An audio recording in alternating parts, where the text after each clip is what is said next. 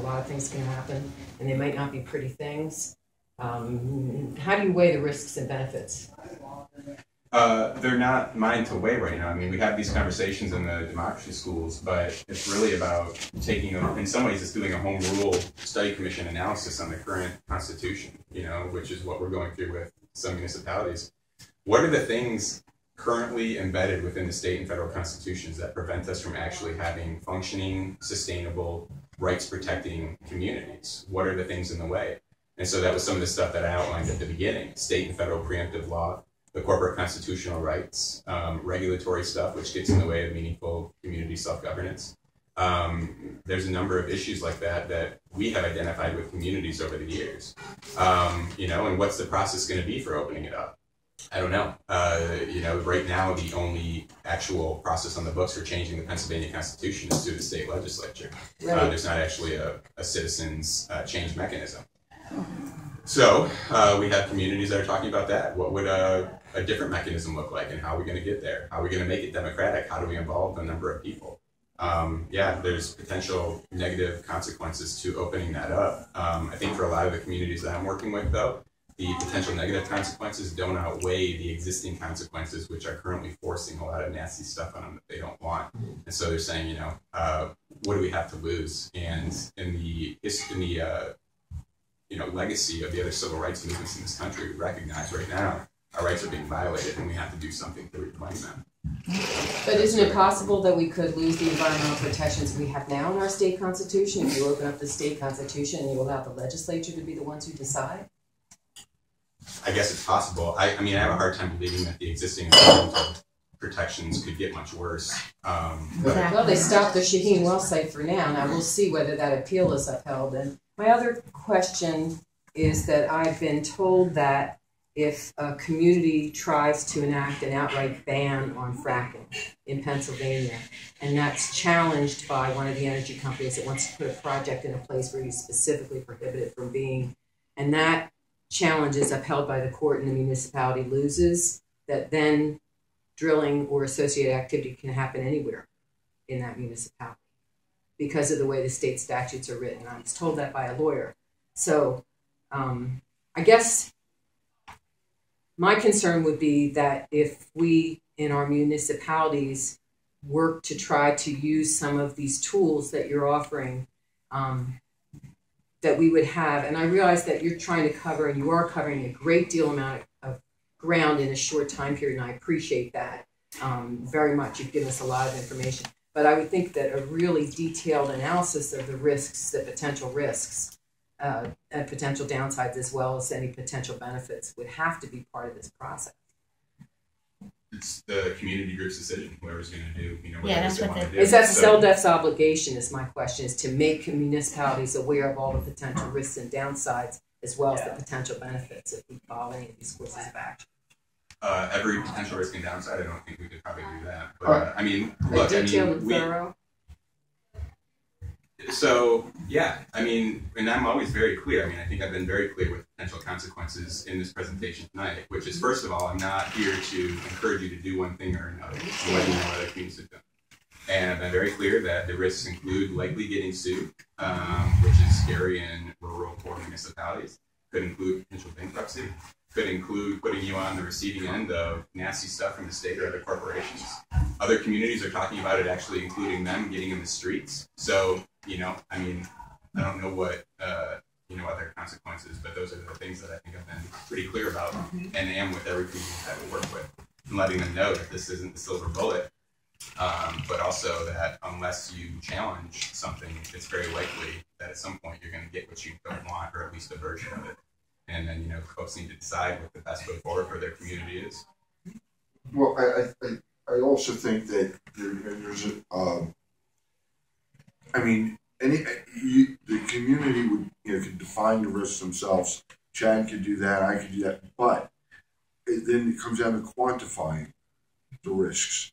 Um, you know, there are certainly potential risks. the community has to decide which, you know, how much do they want to risk, and what are they going to what are they risking if they do nothing? Mm-hmm.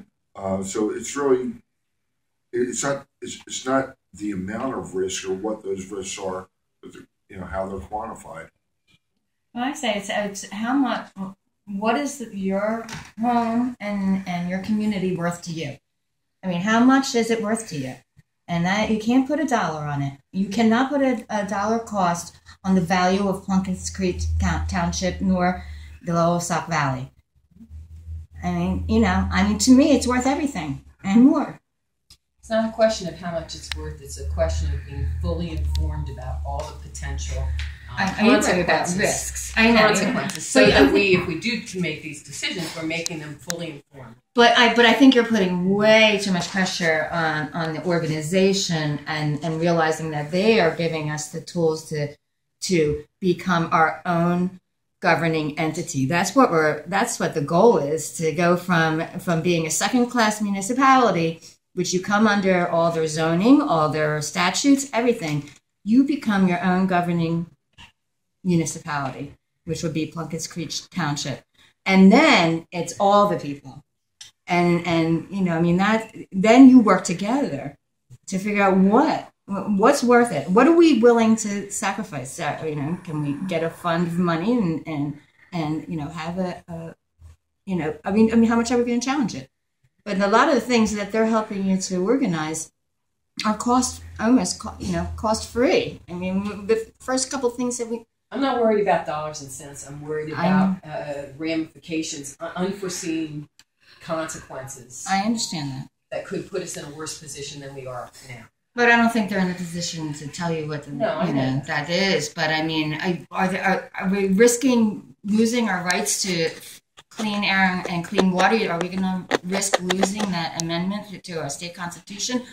Boy, I sure hope not. I, I mean, boy, are we really going to go backwards that way? You had a question as well. Do you have any gauge of taking a pulse of a community on which way they would go if presented with the home rule option? Don't Is I mean, that seems to me to be the big question. If you want to go down this road, where is your township when the votes come? You know, where where are they they going to go? Yeah, I mean, a lot of that would be traditional campaign Right. tactics, phone banking, and things like that. Holding big public meetings to gauge the pulse of whoever's coming out. You know, as many people as you can get out, educate them, and see what they think about it. Um, you know, a common tactic that other communities use is pushing the ordinance first, trying to get their supervisors to pass the ordinance, recognizing that the supervisors probably aren't going to pass the ordinance. And then that process itself actually brings about the reason for why they should pursue home rule. So it's a longer educational process that provides the reasons for the community to understand how the system is currently set up to not give people the voice that they want in the community and how even their own elected officials are selling them out despite what the people in the community want. So that's a longer process. That's one way to do it, but it just takes more time. So, but short answer, I mean, outside of talking to people individually and getting on the phone and holding the, the public meetings, uh, there's not a really good way to gauge it. Especially because a lot of folks, I mean, home rule doesn't, you know, doesn't just hang in your brain. Uh, It usually elicits a lot of blank stares when you say it the first time. And you have to hit people a bunch of times with, you know, the reasons why and what it actually means and what it is and what it's not uh, in order for that to get through. So, um, you know, even I think taking a, an initial poll of people on the phone, if you ask them, but then you talk with them a number of times over a series of months, it could be a very different conversation. So I think it's hard to say what people would think about it when you talk with them initially versus what it would mean after you educate the community over a number of months. I would say. Could I ask how long Philadelphia County has been a home rule county? They were early 70s, but I don't know. for sure. What's that mean? It's a huge city. Yeah, and it's a county of its own, like a city and a county. It's, I mean, it's the, it's got its own city code as well. It's the only first class city in Pennsylvania. So it's got its own legal governing structure separate from every other municipality. Very special. Have you seen, I guess, when you go into these communities, is it more community groups that are kind of spontaneously forming, or are there existing community groups that you can kind of dovetail when you do this? Uh, the majority of folks we work with are new community groups that have formed in response to a specific harm. So a lot of it's first time activists, first time people that never took an interest in anything and they finally just said that they had enough. Um, a lot of existing groups um, especially groups that have been institutionalized over the years and that get funding and things from other sources and have other mission statements, are less likely to do the work um, if they already have a, a focus and you know, they're used to working specific uh, type of structure. So the vast majority of people work with them. Uh, can you give a sense on how many municipalities that are instituting home rule are doing so? And I don't know how to say how, how many, like a percentage or whatever, as a result of some huge environmental issue in their municipality. So as a result of that, everybody's banding together and they want to institute home rule. And also there's a difference between sludge or a pipeline that a lot of people would not benefit from versus when I'm really getting nice gas royalty checks. Yeah, um, I mean, just say it's not like dozens of communities pursuing home rule, at least that I know of this year. You know, there's it's a new project area and there's more going this year than we've had in a while, but it's not like 20 or 30, so it's not a huge groundswell uh, in that sense. Um, the discussion around fracking and royalties, and you know when people are actually benefiting uh, financially from the activity, yeah, it's a it's a harder discussion within the community. It's definitely a much different discussion than sludge when the vast majority of people are against it. So um, that's a, a real you know obstacle in the fracking community, so getting some things done sometimes um, because it can get very divisive. Um, you know, some communities do so pass stuff against fracking, but it's a harder conversation, I think, than sludge to be sure. And that's back to me the best definition of organizing I ever heard was first you talk to one person, then you talk to another, and then you talk to another, and realize that it's you know pretty long term stuff. But um, uh, I have seen the tide shifting against uh, drilling in Pennsylvania in some ways that I haven't seen in a while, particularly in Northwest PA, uh, where I think drilling is probably about to pick up. But people up there uh, I don't know how much they're going to act, but are definitely, I think, more concerned than a lot of folks were in uh, Southwest PA and Northeast PA, where you know the, the wave, tidal wave, kind of hit before people really even knew. A lot of folks in Northwest PA have seen the negative impacts associated with the drilling and have taken, I think, a much closer look at it, more critical look, and maybe willing to, to act uh, up there. So it's not to say that uh, attitudes don't change over time, but that's a harder discussion for sure. Our township has a very large proportion of state-owned land. Um, how does that change the dynamic, do you think? Have you encountered that in other places where you work with municipalities? Um, not from our perspective, it doesn't change anything. I mean, whatever would be in the municipal boundary, if we did a rights based approach, would be folks would be protected. Um, So we wouldn't, you wouldn't necessarily be trying to help have any greater say over what happens on the state lands in a municipality because that's state land. You'd be looking with everything else. Be working with the state land that's contained within the municipality and everything else. So basically, if you know there's a municipal boundary, whether it's state land or municipal land or private land or whatever like that, um, stuff that we work with folks on is to pass a blanket prohibition in all areas of the municipal boundary, whether it's state or local or whatever. That Seriously. the. Seriously, so like, for example, in our township, there's a, there's lots of, but three thousand acres of it is leased. It's a state forest, it's leased, but it's within our township boundary. So you're saying that you, believe you would be able to help municipalities have some say over what happens on that state-owned land, because it's within that municipality? Uh, that's the argument we would make in ordinance if that's what the community wanted. Have you tried that anywhere? Yeah, I mean, there's uh, Yes, a number of communities in Pennsylvania. I mean, in New Mexico, there's state land and all sorts of private land stuff that was leased. Um, Ohio, right now, the existing litigation as well um, has you know private and local and municipal and other types of land. And basically, it's saying that uh, if it's contained within the municipality and the municipality is the community, that if it's harmful to one person in there, it's harmful to everybody, and therefore there's going to be a prohibition on the activity in all parts of the municipality that we're not about moving it or we're not, you know, we don't really recognize whether a difference between state land or private land if what's going to be done on that land is going to be violating other people's rights. There's not a difference in who owns the land if the activity that's going to take place on that land would be in violation of other people's rights in the community. Very interesting. Um, with the uh, again with the home rule charter, have you seen that they go through the process and when it's time to adopt their their rules, that they keep more or less what's already in place and just change a couple hot topic items. They don't reinvent the wheel, or do you essentially reinvent the wheel? that's up to the people on the study commission uh, to decide what they want to do. Um, but yeah, I mean, we have done a draft charter that would basically about keeping everything the same within the second class township or whatever it is. Keep the board of supervisors the same, election terms the same. Basically, default to the second class township code as the governing document, but then just add in, you know, the particular features you want, like initiative and referendum and recall, and then the rights that you wanted and the specific prohibitions that you want to put in there. But keep everything else pretty much the same, so business as usual will essentially carry on. And that's when you would need your citizens group to be the party if then the supervisors then would then change. Yeah, and we also, I mean, in stuff that we do, whether it's an ordinance or you know, if we work with people to write a, a charter, um, put in citizen enforcement provisions so that if the elected officials basically sell out their duty to protect the community, that there are enforcement provisions for citizens groups to take action. When a community like, for instance, Plunkett's Creek is thinking somewhat seriously about getting into home rule, would you or someone from South Africa be available to talk? Yeah, definitely. Um, I mean, if you're thinking for this year, it would obviously need to move quickly, um, and it would probably mean the next step would be a phone call with the seven or nine people that you have that are committed to doing this, and we would work to get everybody on the same page and go through a lot of the worst case scenarios and you know what's what this actually means, and be uh, more deeply uh, familiar with our work as well. Because you know, looking at some of our ordinances or things like that, folks may not actually agree with everything. Folks may not agree with some of the things in there. So, um, and that's obviously fine.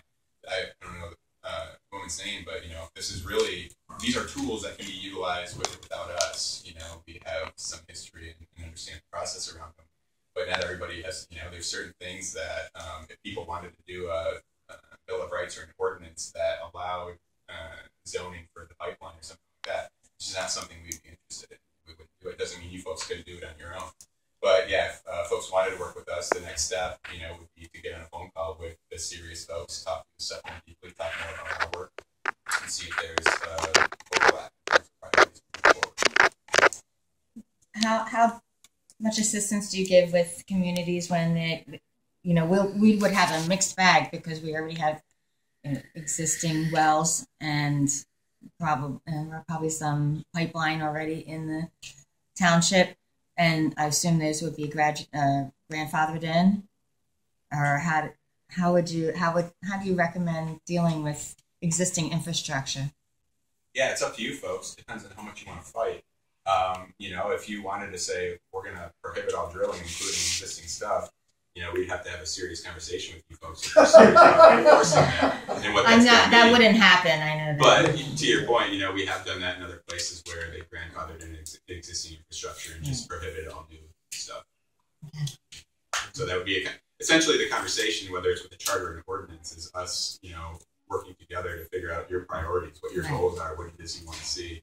Um, and if uh, your goals are, you know, in alignment with our mission, the type of uh, assistance we provide, then work together. And if you want to go in a different direction, obviously, you're free to. I know what direction I'm going to go. Anything else? Yeah, just this is it might be minor. I do marketing communications, so I'm very, very uh, conscious of spin and disclaimers. So I understand the reasons for it, but I guess it kind of bothers me that the your website has a disclaimer that specifically says this is not intended as legal advice um, or to be deemed to be the offering of legal services and not present as advocacy and support or opposition to particular legislation. Last part I understand, but you're not to be deemed to be offering of legal services, but yet what you're holding out for us is, well, if this works for you and it works for us and our missions are aligned and we help you, then we'll provide legal services. So how are you not offering legal services? I mean, everything that's available on our website is, you know, can be used by people in their own capacities, whether it's home rule, whether it's writing an ordinance that looks like ours. Um, you know, most of this stuff is there for educational purposes. And so it's providing our history and our experience working with municipal and community-based law in Pennsylvania and across the country. Um, you know, with the intention that uh, communities should have the authority to determine their own future. I mean, that's our mission statement. So it's not legal services giving you advice saying this is what you should or shouldn't do. I think that's my definition of legal services is giving you an opinion on what you should or shouldn't do.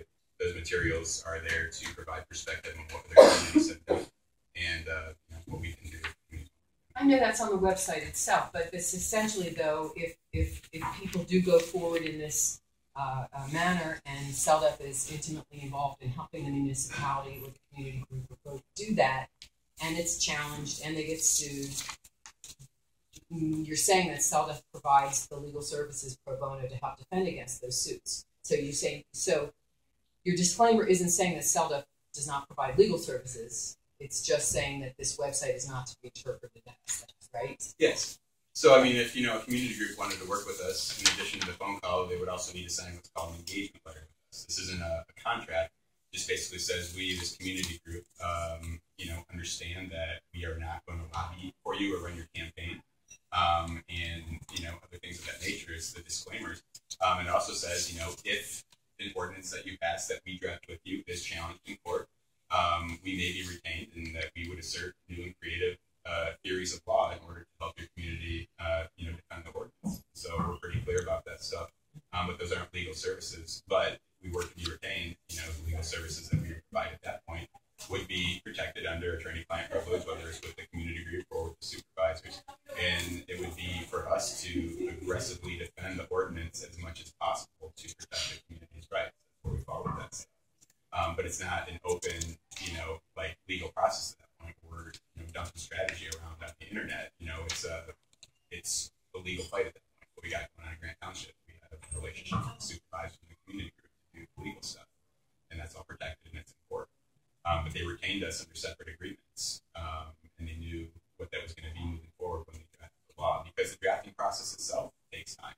You know, it's usually a couple of weeks, if not months, if not. I've been doing drafting with community groups for a year or two. They, they change their mind, they come back, and then they go away for a while and do other stuff. And it's so like, you know, this is not a, a cut and dry process. I think it probably sounds like that more tonight because I gave the home rule stuff, and those are some pretty specific guidelines, timelines, and definitions. Um, but the overall process that generally follows the communities that we work with is very organic and it's a, a relationship building. But the legal services, um, yeah, I don't think that's substantive services on our website.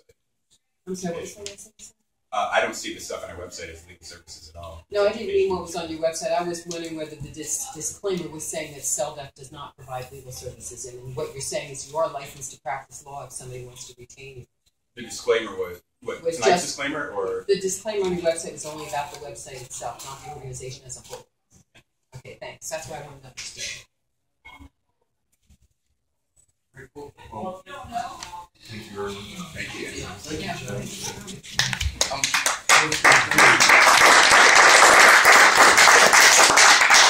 I passed out um, the agendas and I had some emails Yes, that I I needed. have it right here. Thank you. Um, so, quick, I'm just gonna